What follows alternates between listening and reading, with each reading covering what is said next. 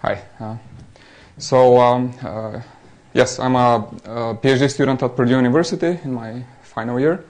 Uh, and this is joint work with uh, Hartmut Neven from Google, um, as well as uh, my Purdue colleague Nan Ding and uh, my Purdue advisor Vishy Vishwanathan. So first I'll give some background um, about adiabatic quantum optimization. So AQO is one of the quantum computing models with uh, the best prospects for scalable hardware implementation. Um, there have been some encouraging results uh, about uh, its computational uh, uh, power. And there is actually a, a company called D-Wave Systems that's developing a hardware implementation of uh, this quantum computing model. Um, there have been some questions from the academic community over the years whether the hardware that D-Wave manufactures is really quantum. And there is a very nice uh, Nature article uh, from last year that uh, studied uh, the quantumness of uh, the D-Wave devices. Um, D-Wave also uh, had a successful collaboration with Google a couple of years ago. we were able to train a large-scale car detector using one of their previous chips. Um, also, a machine was purchased by Lockheed Martin and a quantum computing center was established at the University of Southern California last year. Uh, for machine learning purposes, the D-Wave hardware can be regarded simply as a discrete optimization engine that uh, accepts quadratic un unconstrained binary optimization problems. This is an image of uh, the D-Wave machine that was purchased uh, last year. And here I have a little video to illustrate uh, the adiabatic algorithm and how it achieves uh, optimization tasks. So um, the algorithm goes as follows. Uh, first, uh, we start the system into something that's called in the, initial Hamiltonian or beginning Hamiltonian, which is usually an energy landscape uh, with a very simple structure and easily preparable ground state. Uh, and then we gradually turn the knobs of the system to deform the Hamiltonian uh, into um, the problem Hamiltonian, which is um, an energy landscape that def uh, defines the uh, um, problem that we're trying to solve. So uh, there is a theorem from physics called the adiabatic theorem that says that if we do this process slowly enough from beginning Hamiltonian to problem Hamiltonian, and we have started the system into the ground state of the beginning, beginning Hamiltonian, then at the end we're going to have stayed uh, in the ground state uh, of the system, so we're going to be in the ground state of the problem Hamiltonian, which is the solution to our optimization problem also, and then we just need to read out the, the state of the system and we have the solution to the uh, problem that we're solving. So here is how this goes. We initialize the system into the beginning Hamiltonian in the ground state, and then we start to gradually deform the, uh, the Hamiltonian into the problem Hamiltonian. But classically, we might get stuck in a local minimum. However, due to quantum effects, we might actually be able to tunnel through a barrier and still find the, the, the ground state of the problem Hamiltonian. Okay? So this is the quantum magic. All right, so here are some images of the D-Wave processor. So they're uh, built on a superconducting technology. Um, there have been several generations completed already, from all the way from 4 to 512 qubits. And that means, the, the latest generation means that we can solve uh, problems with 512 binary variables. Okay? Uh, they implement in hardware the Ising model, also equivalent to quadratic unconstrained binary optimization, weighted max 2 SAT, all of these. So whatever we do uh, in machine learning, we have to uh, transform our problems uh, into uh, this form in order to be able to uh, use the quantum hardware. Uh, here's another video to illustrate the operation of the D-Wave hardware in particular. so these lollipop-looking things are supposed to be the qubits, and the sticks pointing up or down, they um, signify the state of, of, of each of these qubits. So up is like spin up or spin down, right? You know, zero or one. Um, at each of the qubits, we have uh, individual biases, positive or negative, uh, illustrated by the blue and red arrows, and uh, pairs of qubits have uh, couplings between them. So those are the quadratic terms of the Ising model. Um, Okay, so first uh, we start the system into the beginning Hamiltonian, which is basically a magnetic, uh, transverse magnetic field that uh, um, puts all the qubits in a superposition in their computational basis. And then we gradually turn off the magnetic field and turn on the couplings and biases that define the problem Hamiltonian. And then at the end of the quantum evolution, if ev everything has gone well, if we, if we, have stayed in the ground state of the system, uh, the final state of the qubits uh, is supposed to encode the, the solution to our optimization problem defined by the um, couplings and biases of the Ising model. Okay. Um, now uh, to machine learning. Um, in machine learning, uh, the problem that we're uh, trying to solve here is supervised learning in the presence of label noise.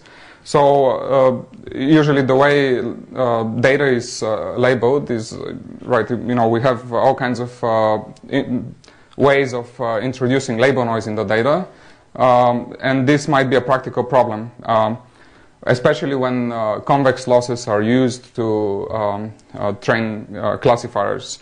Uh, so there has been some work in the uh, past couple of years that has studied uh, convex losses under label noise, and they have shown that um, actually they um, cannot be made robust to the label noise um, that might be pre present in the data in practical situations.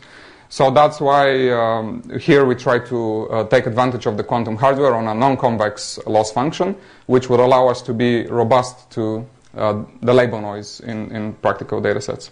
So uh, here's a simple example to illustrate the failure of uh, convex losses. So, uh, here we had a, pro a problem from uh, a Google dataset of OCR in photos. Each of these figures here uh, is about a, particular training problem, um, a digit classification. So th this could be, let's say, the digit 0 versus uh, the rest, 1 versus the rest, 2 versus the rest, and so on. Um, usually what we want to see when we train a binary classifier is that as we uh, optimize uh, the objective function better and better, this is from left to right here on the x-axis, the training error should be going down, right? And this is what happens in, in some of these training problems when using a convex function. Uh, but in others, uh, the training error might be going down up to some point and then starts going up, or it would, would be like going up um, all the way, as we optimize better and better. And this is completely a, a broken training problem. We, we don't want to do this. And the reason why this happens is that um, the label noise in the data creates large negative margins that get severely penalized by a convex loss function because the convex loss function has unboundedly growing penalties for such large negative margins. And what happens is that the uh, noisy data points are pulling the decision hyperplane towards themselves so that the total empirical risk is minimized. Um, and uh, yes, that uh, creates a solution that, that is not actually the, the best decision hyperplane that we might be looking for. So, so this is uh, how convex losses fail on uh, noisy uh, data. There has been prior work on uh, robustness with non-convex losses. the difference between these papers and our work is that they have all resorted to convex optimization um, to solve the non-convex problems. And it's easy to see that this is not the right way to do it uh, because the convex optimization, optimization methods would just get stuck in a local minimum and would have no uh, mechanism of escaping it. Whereas here we are actually trying to solve the non-convex problem with uh, non-convex optimization. Okay. Uh, some basic definitions here of what we're doing. So again, we're training a binary classifier of this form. Uh, the, we have a feature vector x, and the parameters that we're optimizing are a weight vector w uh, and a bias b. Um, so the training is accomplished by L2 regularized risk minimization of this form. Uh, the empirical risk is an average um, of uh, loss contributions from each training example. Um, and the loss function is a function of uh, what is known as the margin, which is basically the distance um, from a certain data point to the decision hyperplane defined by W and B. Um, the loss functions, we have a lot of choices for loss functions. The most natural one is zero one loss, but this is known to be, of course, it's non-convex and would be robust to label noise, but it's also known to be NP-hard. Uh, square loss, on the other hand, is convex. It's, it's an example of a convex relaxation um, or a surrogate loss. uh, that can be used in training, but it's non-robust because of its uh, convexity. Um, the loss function that here uh, we uh, propose, uh, we call it Q loss, and it looks uh, uh, like this. So the intuition behind it is that we achieve robustness by cutting off the penalty for uh, large negative margins. Okay, and the cutoff is controlled by a hyperparameter Q. so and, and that hyperparameter would be cross-validated um, in actual training problems. So uh, the, the, initial formulation of Q loss looks like this, but uh, this is not immediately a QUBO in QUBO form, so we can't uh, put it on the quantum hardware. So, so we need to do something uh, additional in order to make it compatible with quantum optimization. Uh, we achieve this via variational approximation. Um, so um, we notice that the Q loss can be upper bounded by a family of parabolas. Um, so the goal of the variational approximation is to express the loss in terms of uh, uh, these upper bounding uh, parabolas. So the key to the variational approximation is to transform uh, into a new coordinate system where the loss is uh, concave. Uh, and here, this is this transformation. the upper bounding parabolas become tangent lines. And once we have that, we can apply convex duality to express the, this function here in terms of the tangent lines. Then we transform back into the original space and we get our formulation in terms of uh, the upper bounding parabola, which is this one here. So this is uh, a, a, this now is a, a QUBO, and uh, we are compatible with quantum hardware. Um, the only drawback is that uh, we introduce uh, variational parameter t here for each training example. Um, also can be viewed as a latent variable. Um, so for each data point participating in the uh, empirical risk, we would have a, a, latent variable like that, and then the total number of qubits that we're going to need um, uh, is going to depend also on the size of the training set uh, as well as the number of features. Um, but uh, this variational parameter t at each data point gives us a nice uh, intuition to uh, how robustness is achieved. Um, basically with the variational parameter, uh, we can uh, implicitly uh, flip the label of a possibly mislabeled data point uh, whenever it's incurring a large negative margin. Um, also, it can be easily seen that a block coordinate descent method uh, may be applied in this situation if we decompose into model parameters and latent variables. And we tried this but uh, we're, we're, quickly getting stuck in bad local minima. So uh, this was another indication that this is a hard problem uh, that may really benefit from being solved by quantum optimization. Um, also, I mentioned we have this hyperparameter Q, uh, which uh, uh, creates a trade-off between robustness and computational hardness. So if we take Q to be approaching negative infinity, of course, the loss would become effectively convex. So this would be an easy uh, optimization problem, but not robust to label noise. Uh, then if we move Q closer to zero, uh, we're getting closer and closer to something like zero one loss, which uh, becomes NP hard. So in reality, we will have to do a cross-validation over different values of Q and, and see in practice what gives, uh, which uh, value gives the best trade-off between robustness and hardness.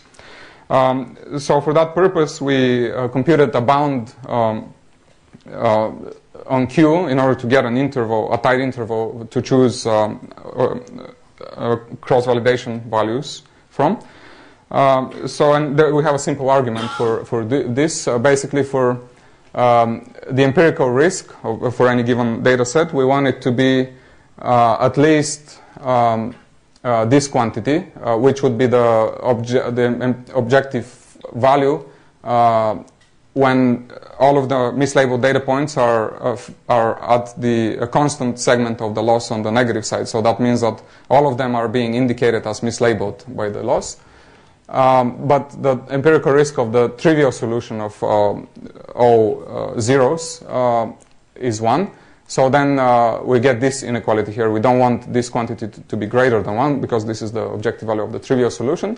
And then when we solve for q, we get uh, this interval from which we can choose values um, for q. values of q, q outside of this interval, um, you know, just don't make sense. Okay. Uh, so also uh, to remind you, we're working here uh, in discrete optimization space. So we need to transform an originally continuous problem into a discrete problem. Uh, further, the D-Wave hardware doesn't have that many qubits uh, even now. Uh, so we need to be frugal with the discretization of these continuous variables. Um, but in previous work, we showed a bound that um, indicates um, that it's not really necessary to use high precision in a binary expansion of um, um, optimization variables. And also the experiments that we've done uh, so far support the usage of low precision variables.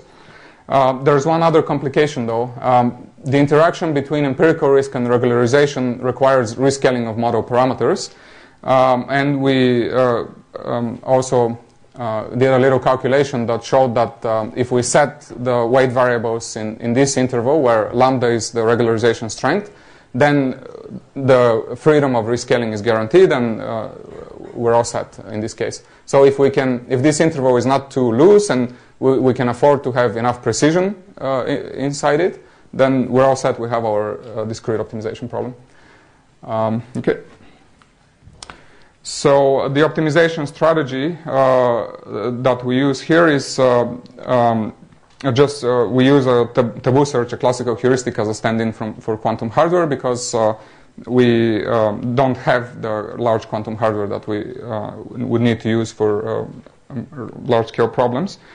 Um, and the label noise model that we use is a little different also from previous work. So previous work used um, uniform label noise injected in the uh, original data, and then uh, they were observing how the test error increases with increasing label noise. Here we used uh, asymmetric noise uh, inserted only in the, one of the classes of the data. And here are our experimental results. We uh, used six data sets. Two of them are synthetic and are designed to um, bring out the deficiency of convex losses. And these, these four are um, UCI data sets we compared with uh, a number of, of other methods, and uh, the experiments showed that actually our loss, uh, Q loss optimized uh, uh, with a discrete optimization method uh, performed the best. It was the most robust with respect to increasing label noise. And also, there are indications that if we are able to run these experiments on the quantum hardware, also, we should get even better robustness. So one final um, uh, figure that I want to show here is also a bonus that comes from the non-convex loss that can be also used to uh, give us information about which points in the training set were mislabeled. So we recorded the set of uh, flips that we injected in the training set before training. And after training, we looked at which of the margins resulting from the training are so negative that they fall on the constant segment of Q loss. Uh, and those are trained flips, we call them. So basically, the training process is, is, telling us, hey, these points are probably mislabeled. So then we wanted to see how these two sets overlap. Um, the orange color here shows full overlap. And that means all of the inje injected flips were also identified by training as, uh, as mm, uh, wrong labels. Um, and the only non-perfect overlaps here we have for these two datasets, cover type and adult 9, and uh, the reason for that is those datasets have very high base error, and uh, probably the optimization problems there are much harder than in the other datasets, but applying the quantum hardware would probably give uh, better results there too. Thank you very much.